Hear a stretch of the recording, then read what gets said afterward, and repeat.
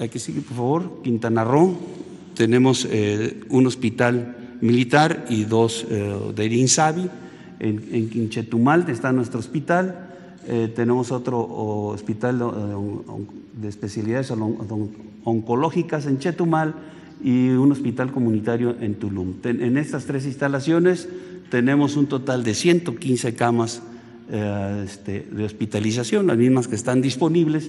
Y en iguales circunstancias, aquí tenemos en terapia intensiva 65 camas entre las tres instalaciones, ya se pueden ocupar como hospitalización, pero en espera de los ventiladores para convertirlas en terapia intensiva.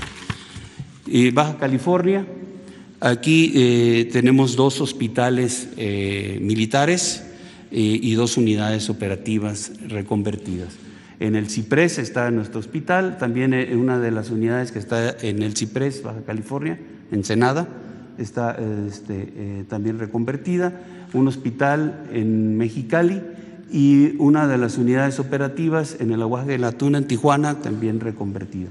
En total tenemos entre estas cuatro instalaciones 122 camas de hospitalización, únicamente están ocho ocupadas, disponibles 114. En terapia intensiva tenemos en nuestro hospital en Ensenada, en el Ciprés, tres eh, de camas de terapia intensiva, las cuales están disponibles.